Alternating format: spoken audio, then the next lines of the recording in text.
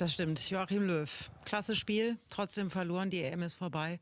Warum hat es aus Ihrer Sicht nicht gereicht? Ähm, ja, trotz allem jetzt ein Riesenkompliment an die Mannschaft, weil wir haben heute wirklich auch, äh, glaube ich, besser gespielt als die Gegner. Wir haben fast keine Chance zugelassen. Wir waren klar feldüberlegen. Wir haben wahnsinnig viel investiert, sind dann vielleicht durch eine unglückliche Aktion in Rückstand geraten, kurz vor der Halbzeit. Aber ich denke, dass wir trotzdem ein klasse Spiel gemacht haben.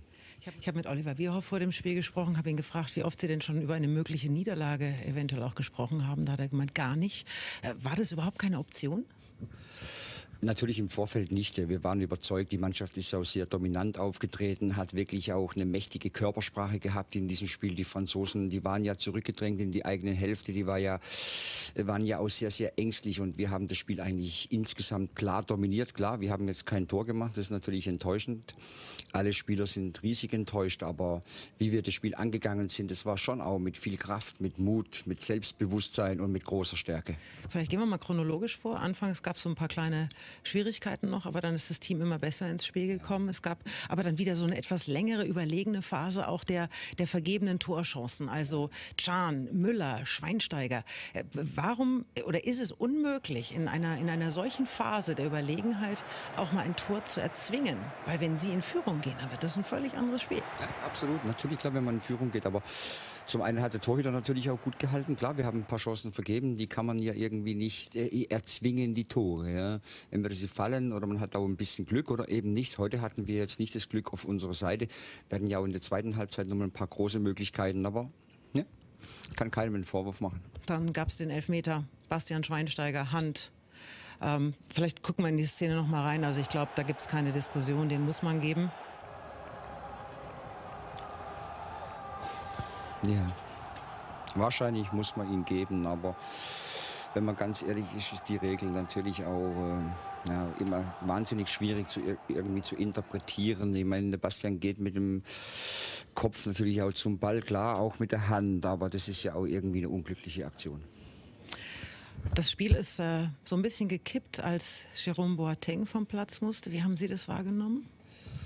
Ja, klar, natürlich hat er gefehlt heute dann äh, in der Schlussphase auch hinten drin. Natürlich ist man mit ihm sehr, sehr stabil. Wir hatten ja eben auch noch Ausfälle von Hummels, von Gomez, von Kedira, jetzt auch noch Boateng. Das sind natürlich wichtige Stützen in der Mannschaft. Und äh, wenn man dann äh, im Rückstand ist und man hat so einen Spieler, der dann eben auch noch verletzt raus muss, das ist natürlich für die Mannschaft auch schlecht.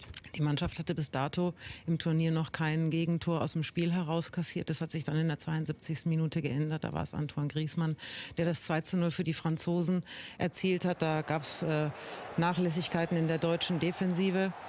Kann man dagegen was machen? Kann man das verhindern? Ja, man hätte natürlich schon können den Ball vorher anders rausspielen. Äh, das ist natürlich auch klar. Der Manu kommt gerade noch dran. Man darf natürlich auch ihn nicht flanken lassen, den Spieler außen, logisch. Ja, und da hätte man müssen natürlich eine andere Lösung finden, weil das sind die Franzosen vorne, da muss man den Ball vielleicht auch mal wegspielen. Wir haben es sonst super gemacht, wie wir hinten rausgespielt haben, aber in dem Moment äh, hätten wir natürlich auch den Ball müssen wegschlagen. Hm, Sie haben dann noch alles auf die offensive Karte gesetzt, Leroy Sané gebracht. Es gab auch noch etliche wirklich gute Chancen, aber auch die sind wieder verpufft. Das ist doch zum Verrücktwerden. Wir haben heute viel riskiert ja? und wir wollten von vornherein viel riskieren. Wer viel riskiert, der läuft auch mal Gefahr zu verlieren. Aber wer nichts riskiert, der hat schon von Anfang an verloren. Also wir haben schon auch, äh, glaube ich, alles versucht. Die Chancen sind jetzt heute nicht rein und ja, aber die Mannschaft hat bravourös gekämpft. Wenn Sie ein, ein, ein Fazit ziehen wollen äh, unter, unter dieser EM, auch vielleicht jetzt mal im Hinblick auf, auf Thomas Müller, der in sechs Spielen jetzt nicht einen Treffer gemacht hat. Der hat in Evian die Woche sehr eindrucksvoll gesprochen, aus dem Seelenleben eines Fußballprofis berichtet, von, von der mentalen Belastung, die er auch empfindet. Gibt es da einen Zusammenhang? Äh, das, das weiß ich äh, jetzt nicht, ob es bei dieser EM einen Zusammenhang gab, aber grundsätzlich ist es schon so, dass die Spieler natürlich alle drei, vier Tage spielen auf einem ganz hohen Niveau. In den Vereinen sind sie wahnsinnig gefordert. Dann kommen natürlich äh, immer die Turniere. Dieses Jahr ein Turnier, nächstes Jahr 2018, eine kurze Sommerpause, eine kurze Vorbereitung.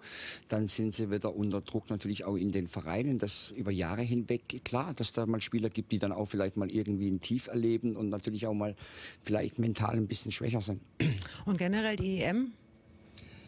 Ja, die EM war für uns sicherlich trotz allem jetzt, äh, glaube ich, äh, gut. Wir haben gute Spiele gemacht. Die Mannschaft hat einen unglaublich guten Zusammenhalt. Wir haben wirklich auch viel, viel Leidenschaft gesehen bei unserer Mannschaft. Wir haben klasse trainiert. Wir haben viel investiert, viel Vorleistung gebracht vor den Spielen.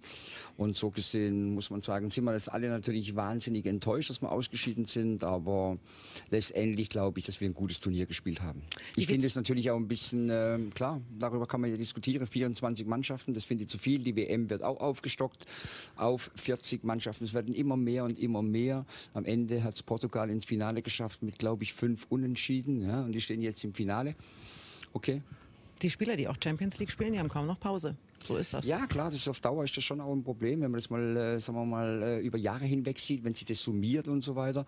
Die Spieler sind natürlich auch viel unterwegs, auf Reisen, viel in Hotels, im Trainingslager. Das ist natürlich schon klar. Manchmal spürt man auch, wenn das so weitergeht, das ist für den Fußball nicht gut, weil darunter leidet auch die Qualität am Ende. Wie geht es denn mit Ihnen jetzt kurzfristig persönlich weiter? Wie lange dauert das, bis Sie sich von, von diesem ersten Schreck jetzt erholt haben? Weiß ich auch nicht genau. Wird sicherlich ein bisschen dauern. Aber ich gehe davon aus, am 31. August sehen wir Sie auf der Bank im Spiel gegen Finnland. Oh. Denke mal. Alles Gute. Vielen Dank, okay. Joachim Löw. Dankeschön. Danke Ihnen, Katharina. Vielen Dank.